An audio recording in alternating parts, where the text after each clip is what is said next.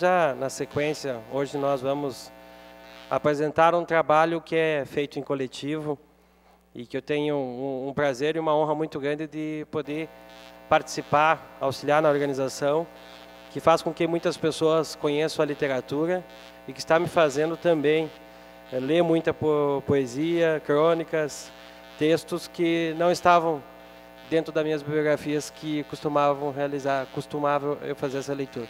Pedi para o Miqueias que possa já abrir o primeiro slide. Nós temos e pedir para a TV Câmara também focar na tela para que possa mostrar os slides. Nós temos a, a, um projeto chamado Conversas Transformadoras.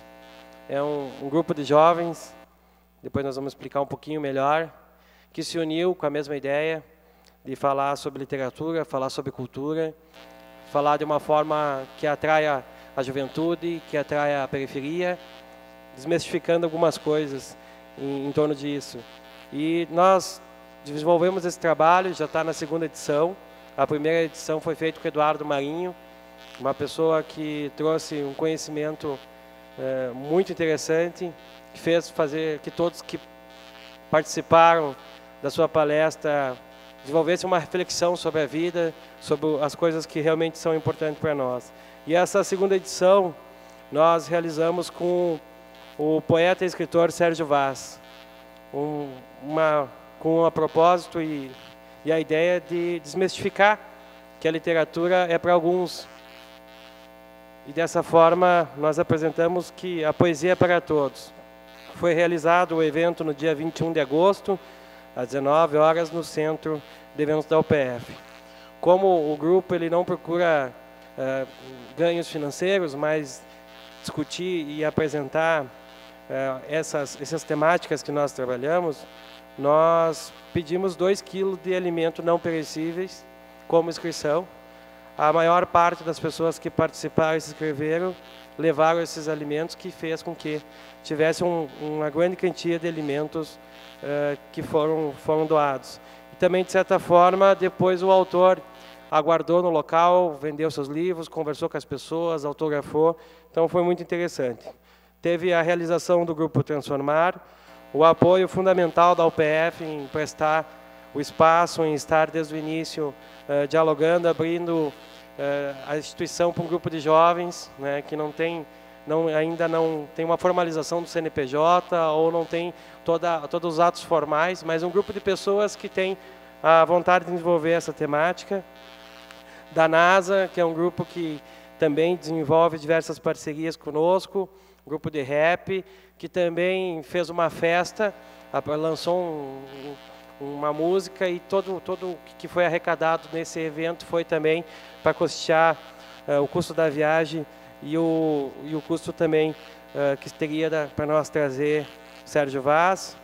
Germanias Hotel também teve uh, cedendo espaço para que nós pudéssemos ter onde ficasse o nosso escritor. E os colaboradores que fizeram um trabalho extremamente interessante, que é o Hemopasso, né, que teve lá também desenvolvendo a, a proposta, sensibilizando as pessoas para renovar o cadastro, quem já era doador de medula óssea e quem não era doador de medula óssea também desenvolvendo lá uh, esse cadastro. E o, o Natal Porta a Porta, né, que teve lá junto, demonstrando o trabalho que faz no bairro Záquia e, de uma certa forma, também uh, fez com que as pessoas levassem os alimentos porque entenderam o propósito que era a destinação uh, da arrecadação. Os idealizadores, o projeto Conversas Transformadoras foi pensado e executado por um grupo de jovens e amigos de Passo Fundo, ligados a diversos segmentos da sociedade. Fazem parte do grupo estudantes, trabalhadores, membros da entidade, autônomos e representantes de órgãos públicos, públicos fazendo parte desse evento uh, e dessas atividades que estão tendo sucesso. Todos partindo de uma visão que temos sobre a juventude atual, que de certa forma é, é órfã de espaços qualificados para debate, construção de ideias, e esse projeto ele visa a sociedade para que possamos discutir temas complexos, a desigualdade, diferenças pessoais, política. Discutir política na juventude é muito importante. Economia, entre outros temas que ainda são, de certa forma, mistificados na sociedade atual ou que a juventude uh, se afastou. O evento já, já expliquei. A poesia para todos. O poeta Sérgio Vaz, que é idealizador da Cooperifa em São Paulo, cativou um público que participou da segunda edição do projeto Conversas Transformadoras. De Minas Gerais para a periferia de São Paulo, Sérgio Vaz titula a si mesmo como um vira-lata da literatura. No auge da juventude, o escritor tinha recaído e assumido o seu talento para a poesia, começando a escrever depois somente dos 20 anos. O Sérgio Vaz não utilizava a poesia simplesmente para fazer arte, mas para protestar expor as dificuldades da periferia e, ao mesmo tempo, para falar de sentimentos e das suas belezas uh, da vida. Em suas obras, relata histórias de vida de pessoas que vivem na periferia, o lugar em que a saúde, a educação, a segurança são precárias e que o racismo é muito forte. O poeta enfatiza a descentralização da literatura como o argumento em que todos nós gostamos de poesia, só que alguns ainda não sabem que gostam. É preciso democratizar a palavra, a poesia, o livro. A literatura tem que chegar a todos os lares, em todas as praças, em todas as ruas, em todos os lugares. Não podem ser um privilégio de poucos. Se o conhecimento não é para todos, ele deveria se chamar desconhecimento. Comerte Sérgio Vaz. Durante a, a palestra, Sérgio Vaz, ele apresentou algumas ideias que, que, que fizeram que todos refletissem muito. Né? Um é a questão do, da maioridade penal.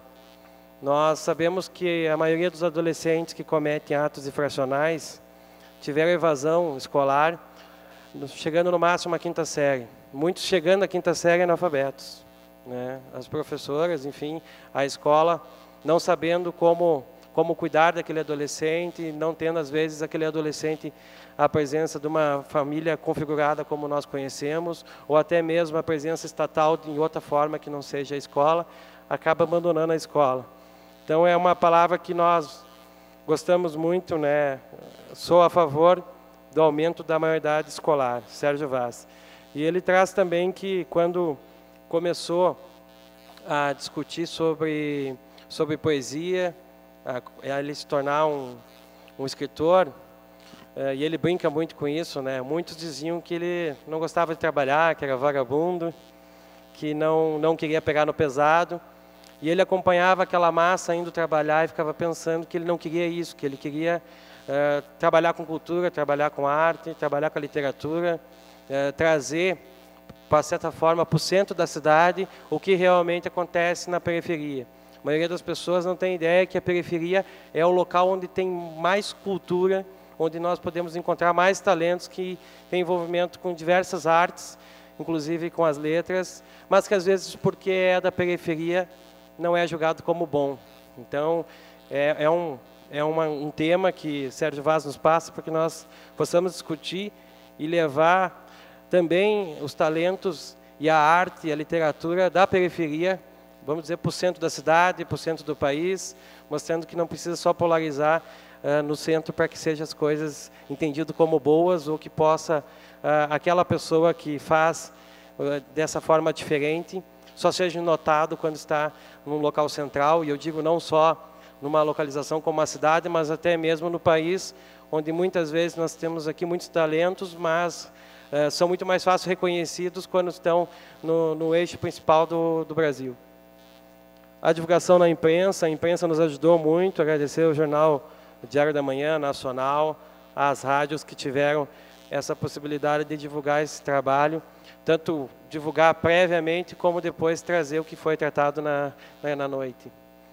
Em relação à solidariedade, durante o evento foram arrecadados quase uma tonelada de alimentos não perecíveis que, o porta, que foram destinados ao projeto Natal Porta a Porta, desenvolvido por moradores do bairro Záquia, é, o ônibus do Hemopassa também chegou a um número que surpreende, próximo de 100 novos doadores de medula óssea.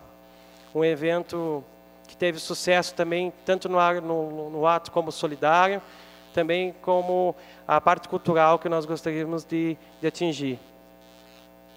O, aqui a foto, uma parte do grupo Porta a Porta, não estavam todos, por algumas atividades pessoais, também relacionadas ao trabalho, mas o grupo que estava lá arrecadando, e depois também teve a, a vamos dizer assim, a, a, dificuldade de levar de volta para o Záquia, né, que foi uma arrecadação expressiva, teve aí que organizar vários veículos em várias viagens para que possa, possa ter levado todo esse material arrecadado. Também o pessoal do, do Hemopasso, fazendo esse trabalho com, junto com o ônibus, recadastrando, que teve o pessoal a, poderia até ter mais mais pessoas cadastradas, mas chegou no final do evento, ainda o pessoal estava lá fazendo fila, pedindo para participar. A participação, o projeto superou todas as expectativas de públicos, foram 600 inscritos e teve um grande público que não se inscreveu e que estiveram presentes acompanhando também. Acadêmicos de diversas disciplinas, professores e o público em geral engrandeceram ainda mais o evento, principalmente de acadêmicos da UPF e de professores da UPF. Nós tínhamos também a intenção de levar os secundaristas das escolas estaduais. Mas como nós vivemos num momento que na, na, na semana da que foi, foi divulgado o evento, as escolas estavam em greve, todos sabemos os motivos, nós não conseguimos atingir também esse público que era importante estar lá, que era o público secundarista das escolas estaduais, mas mesmo com todas essas dificuldades que teve os organizadores de fazer a divulgação há pouco tempo, eh, a UPF compreendeu muito bem e possibilitou que os seus estudantes participassem dessa atividade. Os objetivos alcançados foi transmitir, transmitir, transmitirmos conhecimento através dos temas debatidos, explicando suas particularidades, necessidade e a importância para a sociedade, fornecer a informações para o aprimoramento pessoal, profissional, social e familiar. Oferecemos opções para que as pessoas possam ter meios de obter conhecimento e sabedoria de forma diferenciada e atrativa em todas as áreas de suas vidas. Mostramos meios e ferramentas para que as pessoas possam colocar em prática seus conhecimentos em benefício pessoal e do coletivo. Aqui uma, uma foto final uh, junto com o Sérgio Vaz, Tânia Reze. Tânia Reze que também foi uma apoiadora, uh, ajudou inicialmente o nosso contato com o Sérgio Vaz. Não poderia falar aqui, eu me comprometi em não, em não dizer, mas tenho que dizer, Michel. O Sérgio Vaz, ele, o cachê dele é um valor significativo, mas quando ele tomou conhecimento da proposta do grupo e depois da também que não, não iria acontecer esse ano a Jornada de Literatura, ele se colocou à disposição uh, para vir num, num, custo extremamente acessível, dando todas as possibilidades para que o evento acontecesse. Então, o Sérgio Vaz, uh, temos que agradecer ele por entender a proposta do evento e vir participar do evento pelo valor que ele veio e também nas condições que foi possibilitada, fazendo que o pagamento fosse feito através de venda de livros, eh, de eventos, e, enfim, que possibilitou que a gente trabalhasse essa segunda edição. Né? Nós pensamos em alguns nomes, mas o que se mostrou, que teve mais entendimento do projeto e que apostou no projeto foi o Sérgio Vaz. Eu gosto de dizer que a literatura da periferia é, invadiu a universidade. E nós mostramos que o auditório lotado, que superou com facilidade todas as expectativas de público, uma conversa aberta falando do que, que é ter uma vida de escritor, quais são as dificuldades, o que, que a sociedade fala quando se apresenta como escritor, quando vai preencher uma ficha numa loja de departamento e diz que é escritor, e tem que explicar várias vezes para a operadora do caixa que ele é escritor, enfim, que ele desenvolve essa arte, mora na periferia. E também, é, é, de uma certa forma, é, todo o trabalho que foi feito em prol da literatura e da cultura, é, não saindo da periferia, fazendo uma, uma grande analogia de crônicas e poesias com o seu dia a dia. Quem, quem lê a literatura de Sérgio Vaz acompanha que é, não é muito diferente o que ele trabalha demonstrando a periferia de São Paulo com a periferia que nós temos aqui. Isso mesmo, os próprios jovens que acompanham acabam, acabam se uh, acabam encontrando dentro da poesia situações do seu dia a dia. Então, dessa forma, nós queremos novamente agradecer ao PF, Léo Clube, o Hemopasso, o Grupo Amigos do Bem, Natal Porta a Porta, Projeto Desenhando Sorrisos, o Diretório Central dos Estudantes. E hoje também agradecer a esse grupo jovem, alguns estão aqui, outros por motivo de trabalho não estão, mas que estão fazendo o mundo, pelo menos, transformar dentro daquilo que nós uh, conseguimos, né, juntando esforços, o tempo e fazendo com que a cidade receba eventos e atividades que não estavam previstos em nenhum calendário, especialmente cultural. E eu quero, diante disso, diante disso, convidar para que possamos certificar pela, pela Câmara de Vereadores, por esse apoio que o grupo vem recebendo e pela atividade cultural que vem prestando para a cidade de Passo Fundo. Nós gostaríamos de convidar o presidente e suspender a sessão para que possamos entregar o certificado à professora Bernadette Dalmolin, que está aqui, vice-reitora da UPF, representando a vice-reitoria de Extensão e Assuntos Comunitários, Claudete Doro, diretora do Hemopasso. Tá, então, eu vou, vou declarar suspensa a sessão. Na medida em que o vereador for uh, lendo as pessoas homenageadas, elas podem, então, comparecer aqui à frente do nosso plenário para receber o diploma de honra ao mérito, que tem o seguinte teor. Honra ao mérito.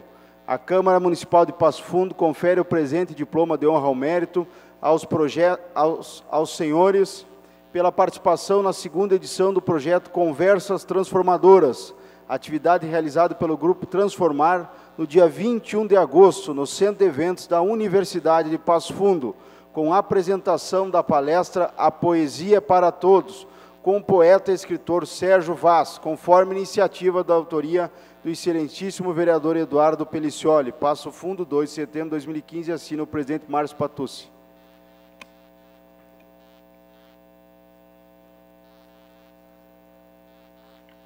Estamos fazendo o convite Milena Rodrigues, coordenadora do projeto Desenhando o Sorriso, Claudete Doro, diretora do Hemopasso, Neilo Ramos, líder do Grupo Amigo do Bem, Fabiano da Rosa e Soeli Mancuso, que são os coordenadores do projeto Porta a Porta do bairro Záquia, Natália Rubic, presidente do Léo Clube Passo Fundo, e Michel Oliveira, que é um representante do Grupo Transformar hoje aqui, também servidor da casa.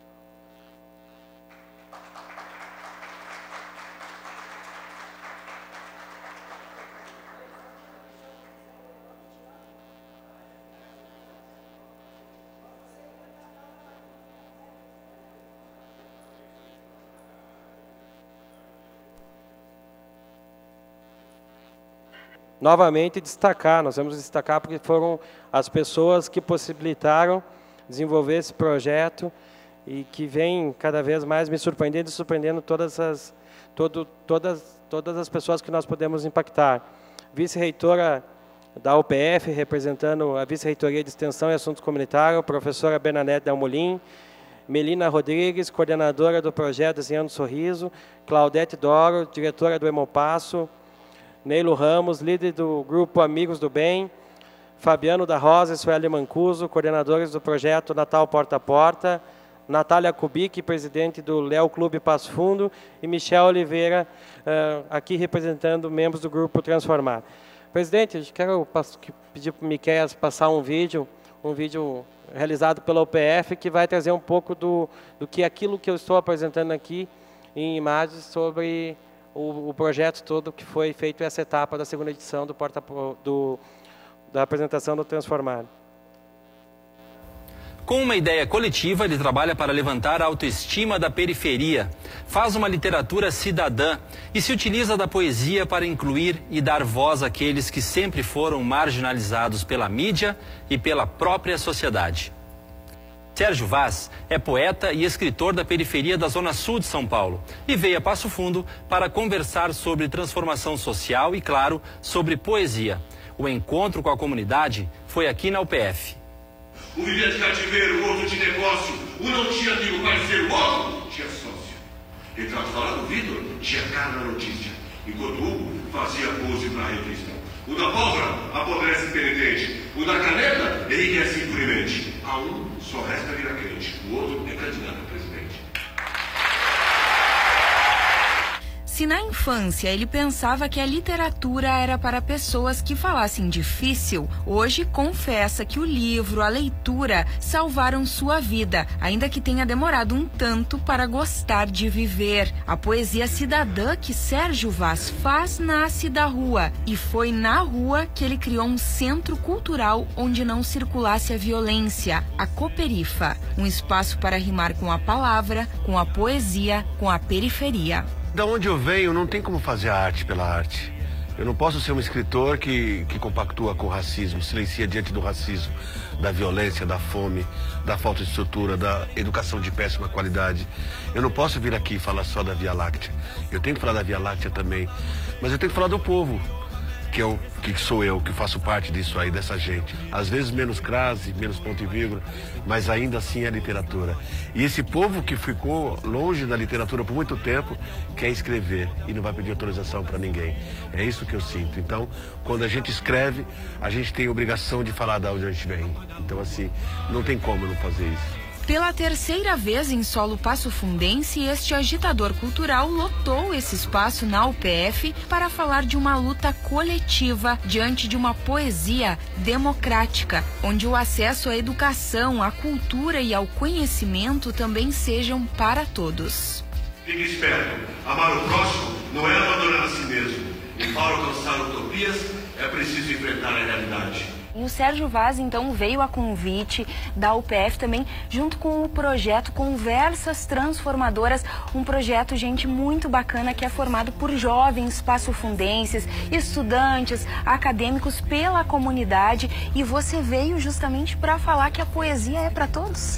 Tem que ser para todos. A gente não pode mais admitir que alguém morra sem ter acesso à poesia. O cidadão, quando ele adquire literatura, conhecimento, ele muda a si próprio, ele muda a rua, muda o bairro, muda o país.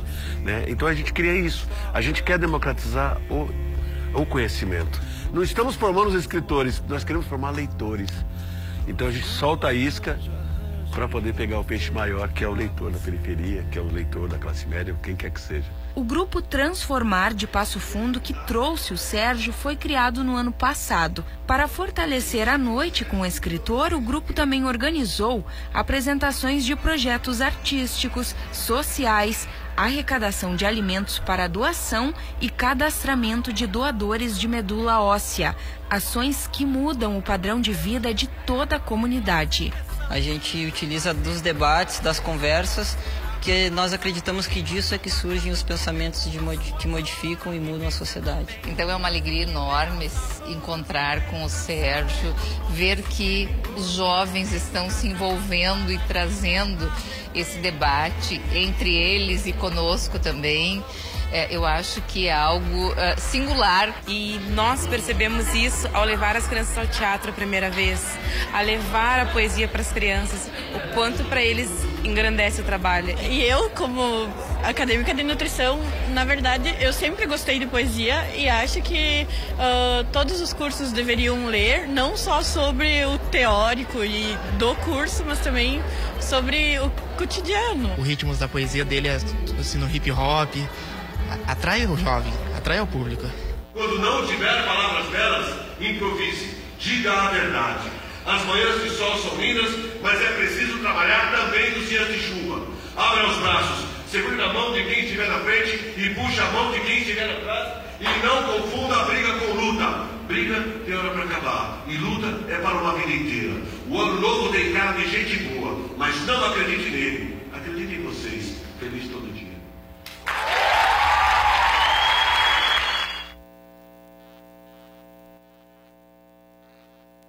Obrigado.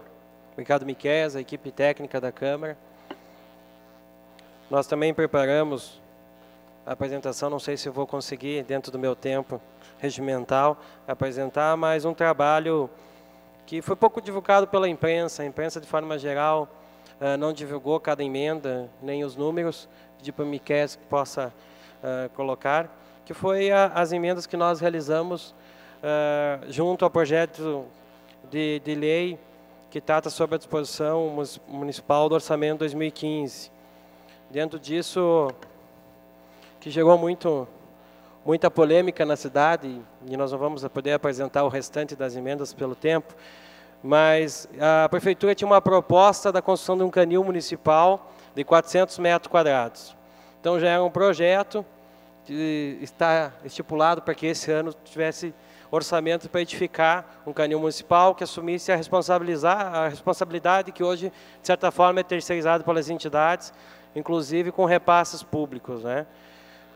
De, desenvolvendo isso, nós tivemos conhecimento de um projeto, presidente Patucci, que foi realizado na época do prefeito Ayrton Dipp, até o secretário o secretário de obras daquela oportunidade, o Seymour, tem em mãos um projeto de um canil de mil metros quadrados que atenderia os padrões técnicos necessários para que nós possamos atender todos os animais da cidade abandonados, vítimas de maltrato, e ali ser um lar temporário até que fosse encaminhado para doação.